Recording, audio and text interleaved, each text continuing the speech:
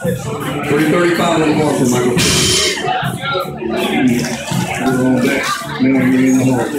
My mic.